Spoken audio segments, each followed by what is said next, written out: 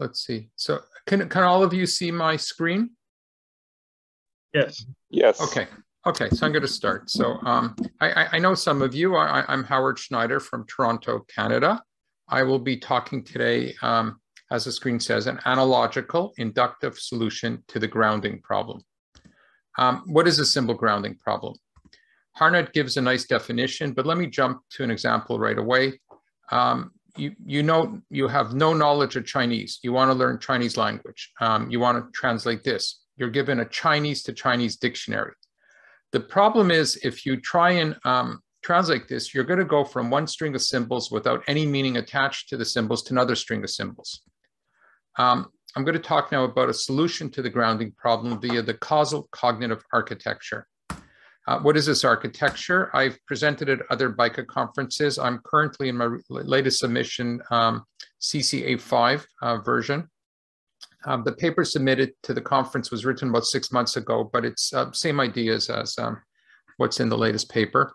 Um, the, the architecture is based on navigation maps, which I did talk about two days ago, the biological inspiration. This is before the GPS, the Auto Association would give you um, these little maps. You want to go, say, from Vancouver in Canada to some other town. Here it takes you to the mountains, and you flip it over, and there's another map. Each one of these is a navigation map. Same thing in my architecture, navigation maps are arrays. Here in Python, I'm using NumPy library. Um, I'm not gonna talk much about biological origins. I did the other day, but um, basically it's inspired, um, let me just move, I have all the speaker thing here. It's inspired by the, um, you know, the fact that in the hippocampus does both navigation and memory management. Um, it's, it's, we've known the structure of the brain since the 1950s. The repeating units are called cortical columns. Um, there's about 300 mini columns in our brains. And more or less, I'm just assuming that um, in evolution, my postulation was that there was gene duplication as often happens, and the circuits forming the cortex in mammals are similar to the hippocampal circuits. In other words, each one of those 300 million um, cortical columns is a navigation map. Um, so don't think of it a big associative array. Think of it 300 million little naps there. So they have connectionist properties within the map and they and also between some of them, and also they have symbolic properties. This is the architecture is controlling a robot here. I'm going to call it just CCA Cognitive Causal Architecture 5 or CCA5 robot. Just means the same thing, the, the architecture plus the embodiment. It wants to cross this river. This is what it sees. It's going to create this navigation map. Again, a navigation map is an array it can contain features. Water is a feature. It can contain links to other cells and other maps or within the same map. It can contain procedures. It doesn't show it here, but any cell, all the all these things can be mixed together and could be multiple of them in any cell. Um, every module in the architecture uses navigation maps. A cognitive cycle, sensory inputs come in, there's processing and motor outputs out. Okay, the, op the operations on the maps, as I talked about two days ago, um, different than if I was working with symbolic logic, if I was using Prolog, which I do have an old copy of, or if I was trying to program an expert system, you know, I'd be using if-then statements. As I mentioned the other day, if I was working neural networks, you know, using PyTorch, TensorFlow, different. This the this is really a different type of AI. It's um, the, the operations I do. I can copy navigation maps, compare them, add them, subtract them, add vectors to them, match them. Okay, let's see an example of the architecture, but without the inductive feedback mechanism. Okay, the robot's out and about. It wants to cross the river. Does operations on the navigation maps. Um, sensor information goes into local navigation maps. These are matched to higher order maps. These maps are matched to the maps in the causal memory module. Best map is chosen. There's spatial binding. Um, then I deal with temporal binding as I presented last year. Um, the result is sensory information comes into the architecture. You get down here to the navigation module. You get a working navigation map, which I just showed you. Also, the information splits off here. This blue line represents the temporal binding in the sequential error correcting module, which of course, you know, I'm assuming is the cerebellum, but um, um, you really, as I showed the other year, you really need to do um, temporal error correcting, which the philosophers don't think about. You, the, the binding problem is not just spatial; it's also temporal. Um, also, I'm I'm feeding data here to the primitives. The primitives are procedures or rules, productions. Primitives are triggered. This triggers it.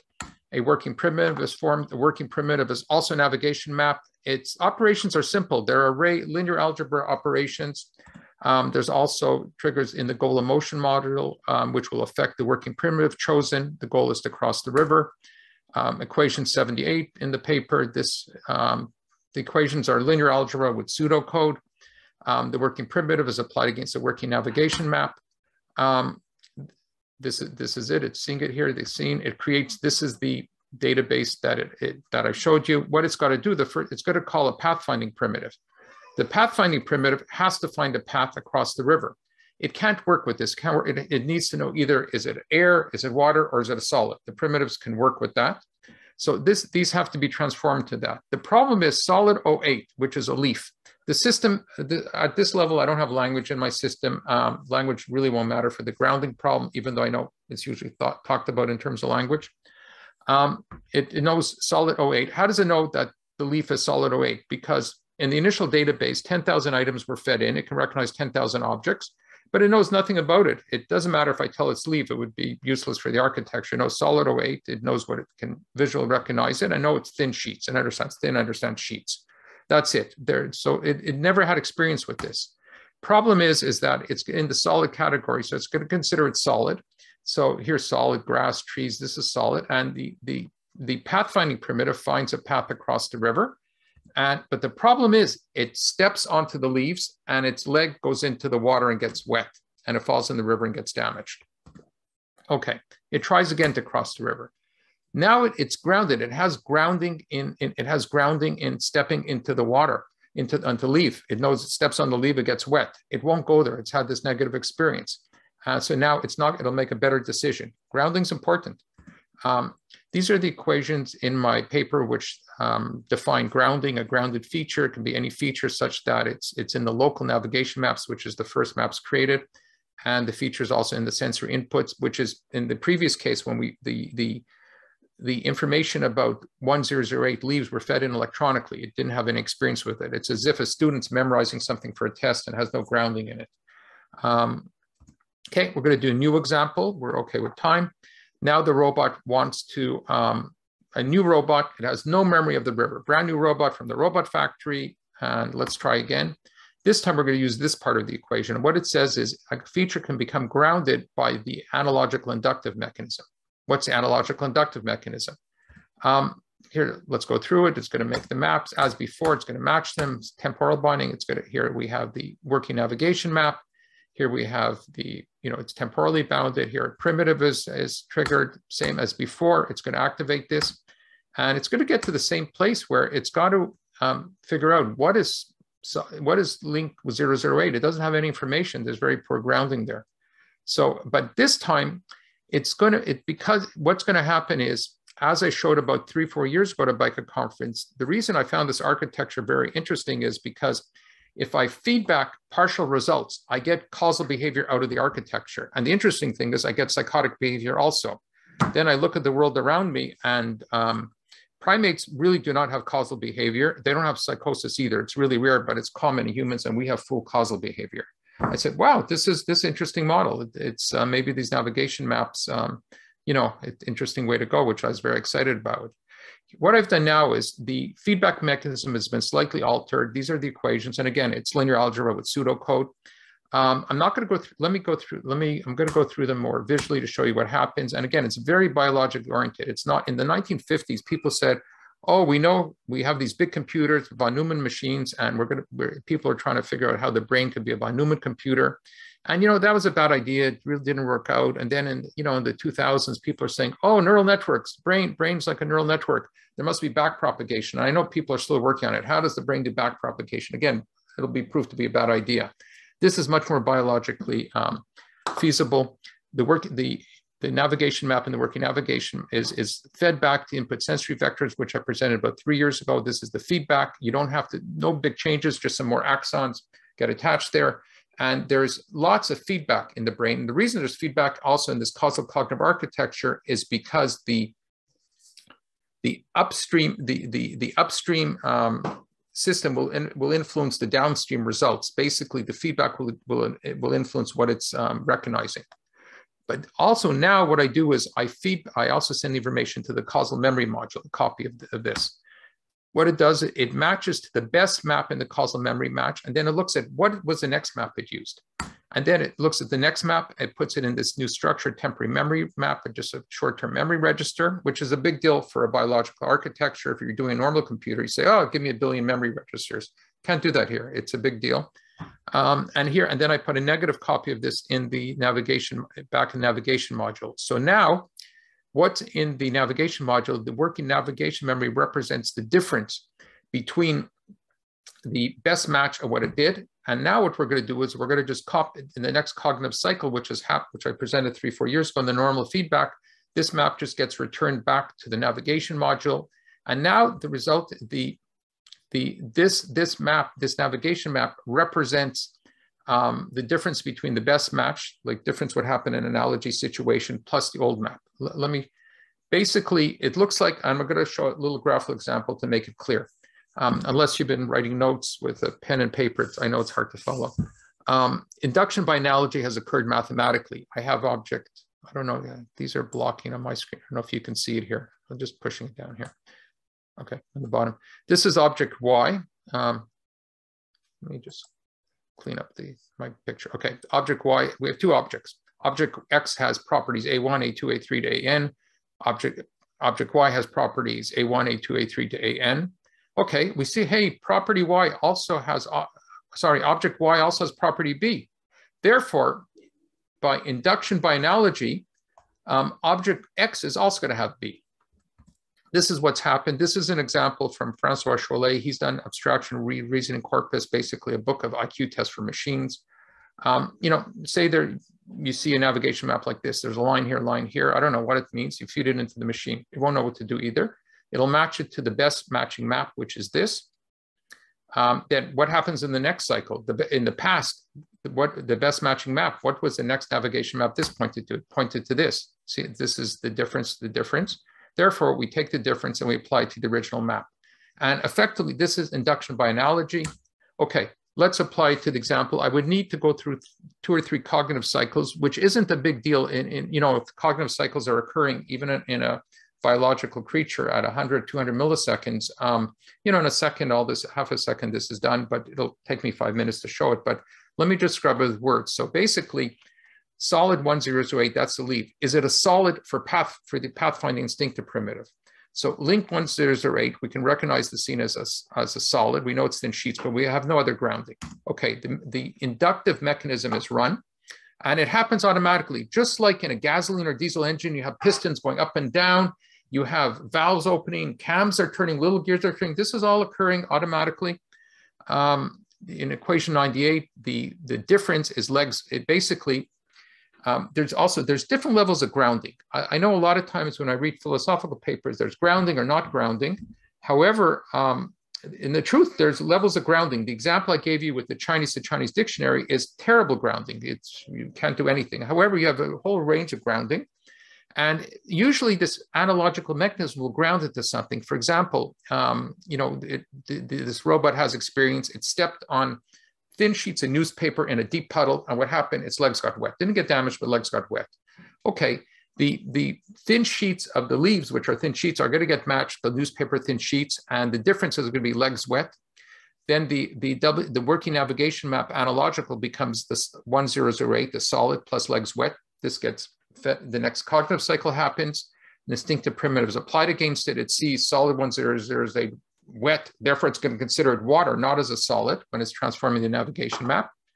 And what happens is before it's going to say, okay, this, this were the trees, the grass, it's solid. This is the air up there. This is water where it sees the river, but it's going to consider the leaves as water.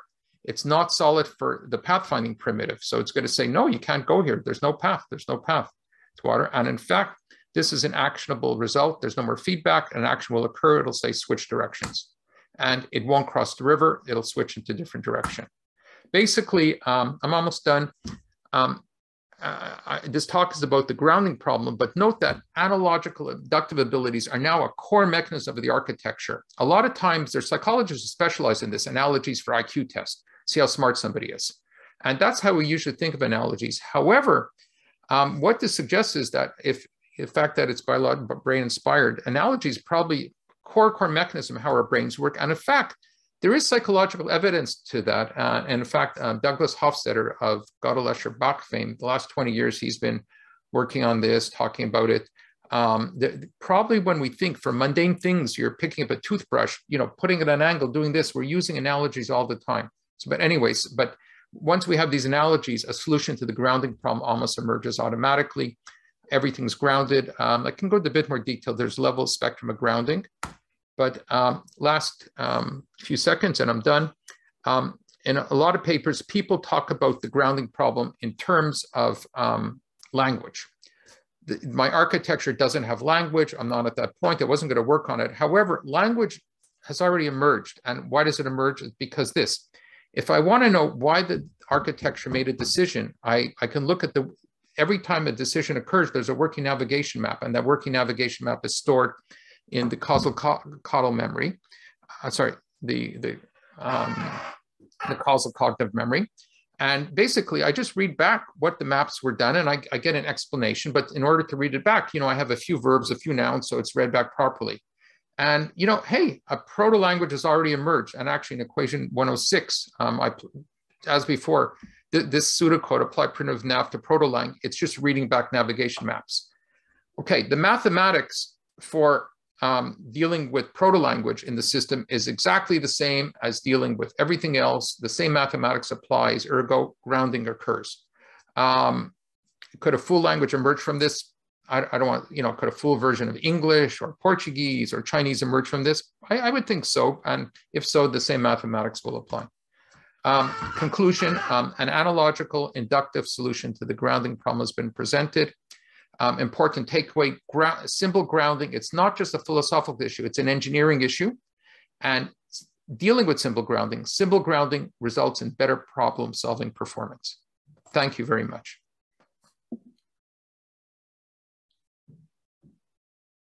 Uh, thank you very much, uh, Howard. Uh, questions?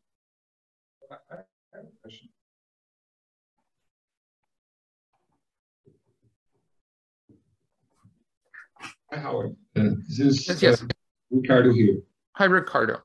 Uh, I, am following you by the by mobile and, also here on the on the room. Oh, that's hard. That's hard. Yeah.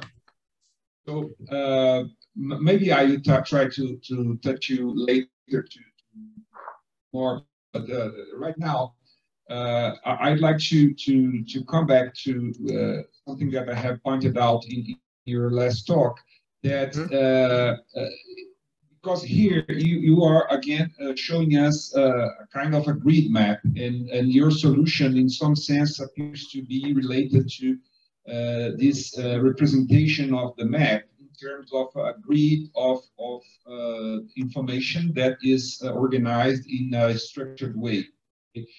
But yes. uh, in other kinds of maps, you can have just the, the uh, coordinates of, of, the elements that are on the map, and you don't actually have a grid.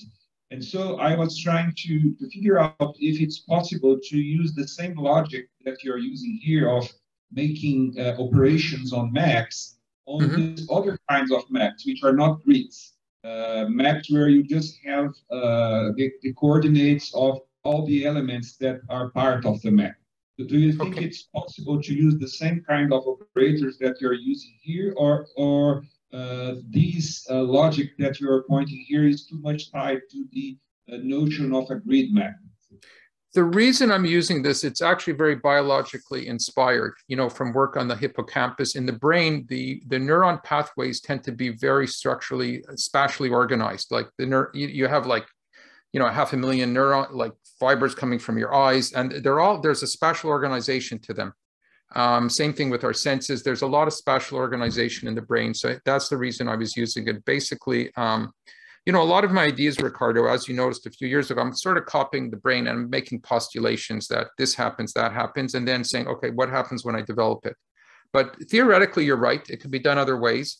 Um, in the brain, though, there is spatial organization. So I've decided to keep the same spatial organization. Um, by the way, what you're talking about, a lot of people have were thinking about this in the 2000s, um, and, and, a lot of work was done on the hippocampus, resulting in a Nobel Prize um, to, to O'Keefe and Moser. Um, um, you know, a couple of years ago. It, it, it's, you know, and, and people, because the hippocampus, it was memory, then it was spatial. And um, it, it's actually three dimensions. It's not just two dimensions. The two dimensions, we can sort of see the, the grid map. Three dimensions became complicated. Um, I forget his name. I think Jan Polsky in um, Israel, he's doing work with fruit bats because the bats fly in three dimensions. And he actually mapped out the three dimensional mapping because the cortex is a 2D sheet. And actually it's, um, it's somehow a 3D pattern is mapped on it and he sort of deciphered how it's done. But um, uh, I agree with what you're saying. It's just, I, I just said, okay, the brain's using this. Let me, let me copy the same structure.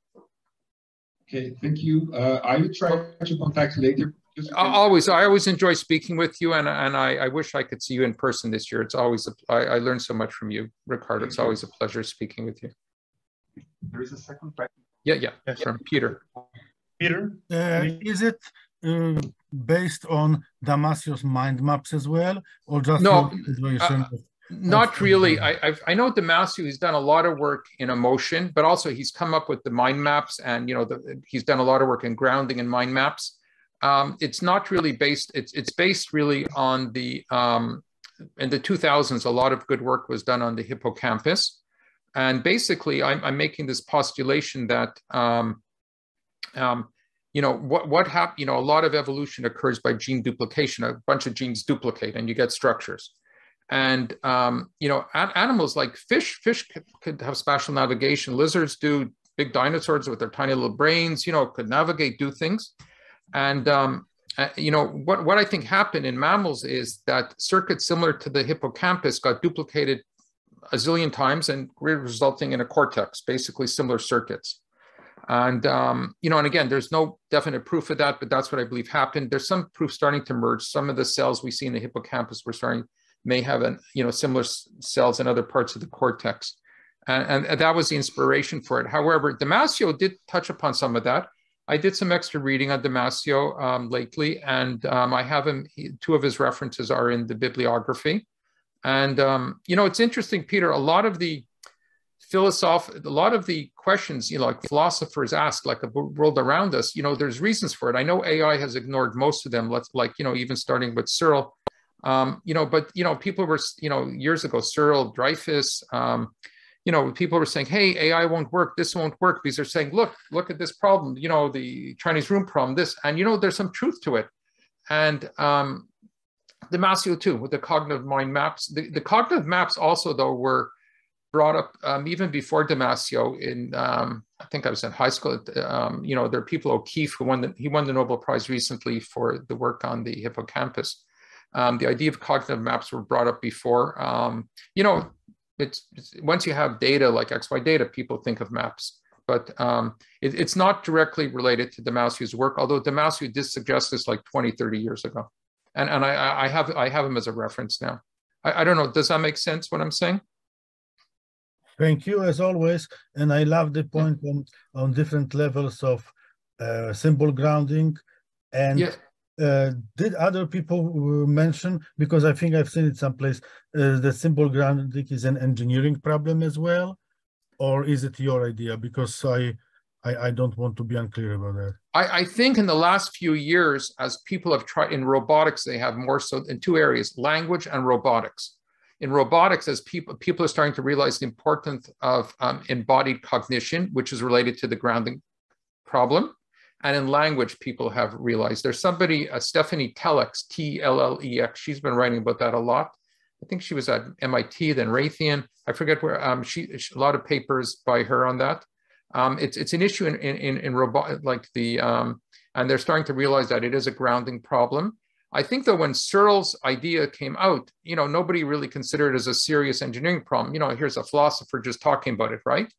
But you know, as other people have started realizing, you know, if you really want to make machines that are going to work, these these these constraints actually need to be, need to be solved. Same thing with the binding problem, you know, which I hit. Um, and the grounding problem, um, there have been some people talking about different levels of grounding. I think that needs to be done better, realizing that things are not just grounded or not grounded. Like, you know, in the Chinese room problem, like the Chinese Chinese dictionary, the grounding is zero. But you know, I don't think you, things are either no grounding or grounding. I think there is a spectrum of it, and it's interesting to explore it in terms of, you know, what does that mean for system performance? Thank you very much. You're, you're welcome. You're... Okay, the time for questions is over. If you Thank have you. more questions, please contact the authors directly.